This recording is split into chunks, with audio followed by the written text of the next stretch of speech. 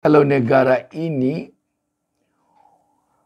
dunia politiknya penghuninya hanya orang-orang nakal semua, orang-orang tak jujur semua, orang-orang tidak peduli dengan moral semuanya. Kita jelas khawatir bangsa dan negara ini makin lama akan semakin terbawa ke jurang kehancuran.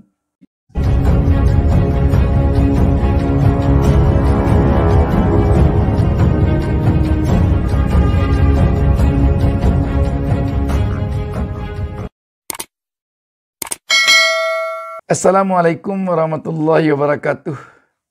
Kita jumpa kembali pada kesempatan ini saya Bustami Narda kembali mendoakan kepada Allah Subhanahu Wa Taala semoga seluruh pemirsa selalu mendapatkan keberkahan hidup dari Allah Subhanahu Wa Taala. Sahabat BN, ketertarikan anak muda atau generasi muda di suatu negara ke dunia politik merupakan pertanda kebaikan bagi negara tersebut. Sebab ini mengartikan bahawa anak muda telah punya kepedulian terhadap bangsa dan negaranya ke depan.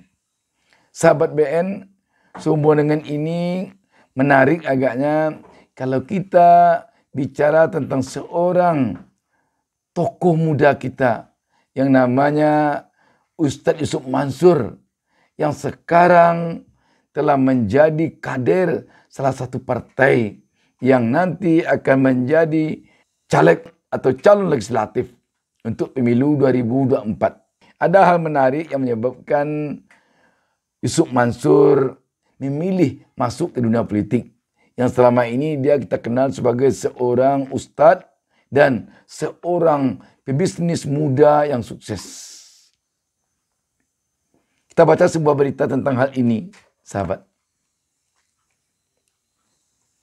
Wartaekonomi.co.id menurunkan berita di bawah judul Ustaz Yusuf Mansur bongkar alasannya terjun ke dunia politik titik dua. Kerana saya dengar pidato Mas Anis. Berita ini hari tanggal 20 Januari 2023. Warta Ekonomi. Ustaz Yusuf Mansur diketahui kini telah menjadi kader Partai Perindo dan akan dijadikan sebagai bakal calon legislatif atau bacalek dari partai tersebut. Soal masuknya Yusuf Mansur ke dunia politik, dia menyebutkan terinspirasi dari penyataan mantan Gubernur DKI Jakarta Anies Baswedan. Saya merespon pembicaraan Mas Anies, pidatonya Mas Anies Baswedan. Ujar Yusuf Mansur dalam perbincangannya di kanal YouTube R66 Neolitis. Enggak dia akan bilang, bagus anak muda mesti masuk dong. Orang berpotensi mesti masuk dong ada itu speak dia sebelum deklarasi imbuhnya. Mendengar pidato Anies Baswedan, Yusuf Mansur kemudian sadar bahawa memang diperlukan untuk dirinya masuk ke politik. Ya benar juga sih, kalau bisa masuk, kenapa enggak? Kalau ada potensinya bisa memberi manfaat. Ya, bismillah tuturnya.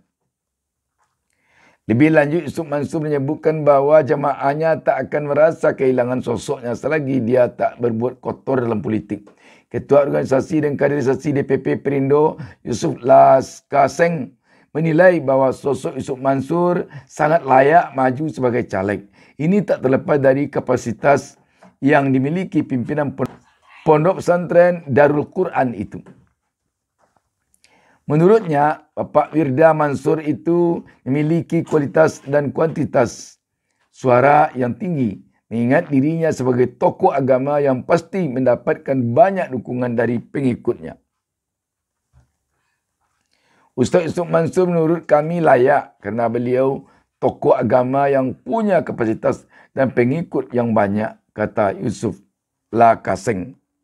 Sahabat BN, Ternyata Yusuf Mansur ini tertarik ke dunia politik karena pidatonya Anies Baswedan.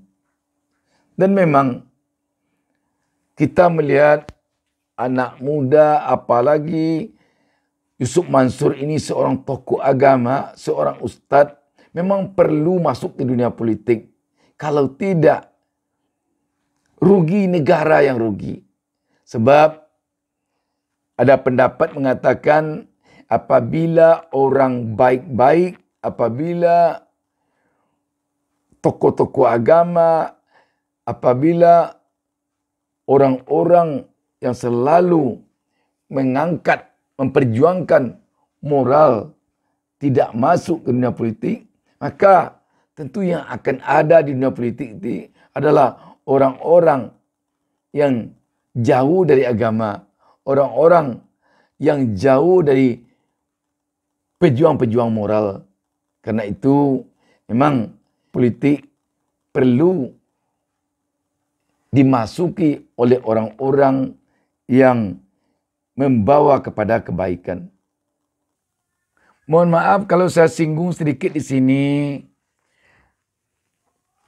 Beberapa waktu lalu Ustaz Yusuf Mansur dilanda oleh isu yang kurang enak didengar.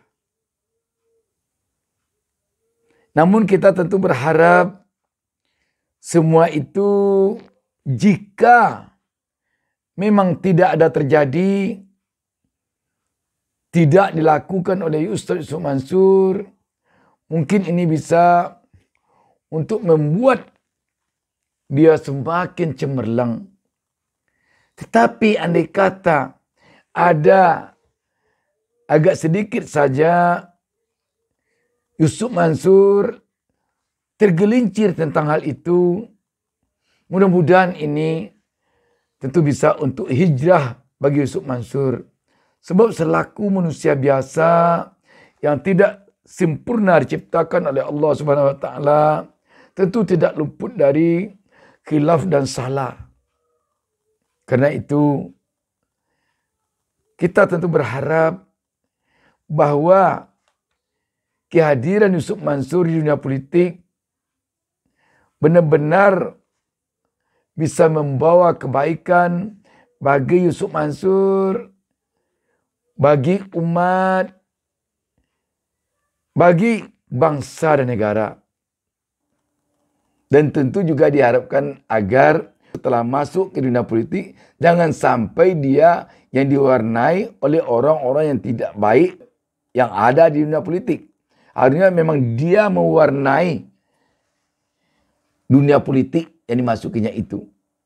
Alangkah naifnya apabila seorang tokoh agama, seorang tokoh pejuang moral, seorang tokoh pembawa kebaikan ketika dia masuk ke dunia politik.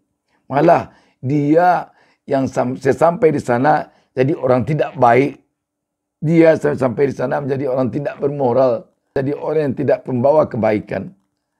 Tetapi tentu kita optimis. Kalaulah dunia politik kita di negara Indonesia yang besar ini dipenuhi oleh orang-orang baik, oleh tokoh-tokoh agama, oleh tokoh-tokoh intelektual, oleh tokoh-tokoh yang berpendidikan tinggi, oleh tokoh-tokoh yang demikian menjunjung tinggi moral. Kita optimis negara kita ini akan semakin baik ke depan. Tetapi kalau negara ini dunia politiknya penghuninya hanya orang-orang nakal semua, orang-orang tak jujur semua, orang-orang tidak peduli dengan moral semuanya. Kita jelas khawatir bangsa dan negara ini makin lama akan semakin terbawa ke jurang kehancuran. Sahabat BN, Tentu kita mengucapkan selamat dulu kepada Ustaz Yusuf Mansur yang telah mau masuk ke dunia politik.